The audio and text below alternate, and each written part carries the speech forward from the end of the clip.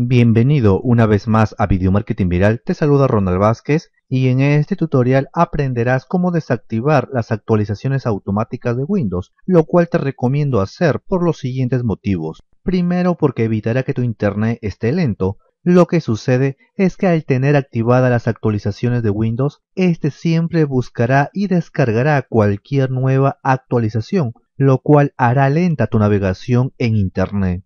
Y el segundo motivo es porque en realidad no necesitas esas actualizaciones en la mayoría de los casos. Al contrario, puede ocurrir que alguna de esas actualizaciones haga conflicto con Windows, ellos mismos te lo advierten. Particularmente llevo trabajando hace años de esa forma y nunca he tenido problemas con Windows y las veces que he actualizado algo lo he hecho manualmente, lo cual también te recomiendo hacer. Por lo cual si quieres aprender a hacerlo, acompáñame. Empecemos.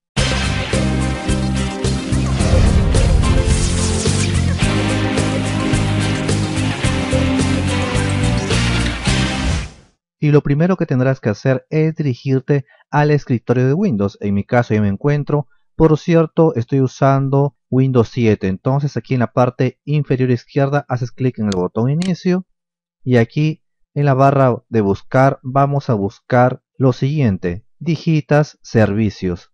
Tal como escuchas, digitas servicios lo mismo también deberás hacer en caso estés usando otra versión de Windows como Windows 8 o Windows 10. Entonces digita servicios y aquí está, ingresamos a la opción de servicios. Y dentro de servicios encontrarás todos los servicios que tenemos activados dentro de Windows. Y lo que nos interesa en este caso es ubicar las actualizaciones automáticas. Entonces vamos a ir hasta la letra W. Todo está en este caso ordenado en orden alfabético. Y aquí al final fíjate dice Windows Update. Esto se refiere a las actualizaciones automáticas. Entonces haces doble clic en él. Y ahora te mostrará esta ventana. Y aquí fíjate donde dice tipo de inicio. Ahí selecciona la opción de manual.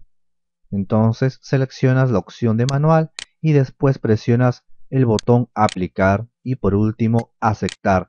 De esa forma estaremos desactivando dichas actualizaciones automáticas. Como ves es muy sencillo hacerlo y es muy probable que en la parte inferior derecha de tu pantalla se muestre algún mensaje en el cual te diga que Windows está corriendo algún riesgo o algo así. Obvia ese mensaje, no le prestes atención. Ese mensaje se mostrará porque hemos desactivado las actualizaciones automáticas. Y quizás también se muestre alguna X como en mi caso, fíjate, hay una pequeña X. Entonces, eso también indicará que hemos desactivado efectivamente las actualizaciones automáticas de Windows. Por último, quiero comentarte que hace poco me llamó un cliente el cual justamente tenía activada las actualizaciones automáticas, lo cual hizo que se actualice su Windows, es decir, al Windows 10, y todo eso ocasionó un serio conflicto en su PC, por lo cual tuve que forzosamente regresar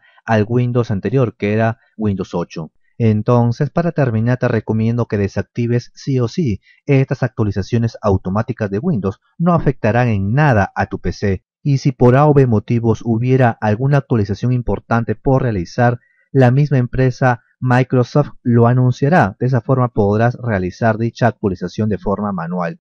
Antes que te vayas, no olvides de suscribirte si todavía no lo haces. Es totalmente gratis. De esa forma recibirás los nuevos videos que publicaré. Asimismo, te agradecería que compartas este video con tus amigos. Me ayudará muchísimo a seguir creciendo. Y si tuvieras alguna pregunta, déjala en los comentarios. Con gusto la responderé. Nos vemos en un próximo video. Mi nombre es Ronald Vázquez.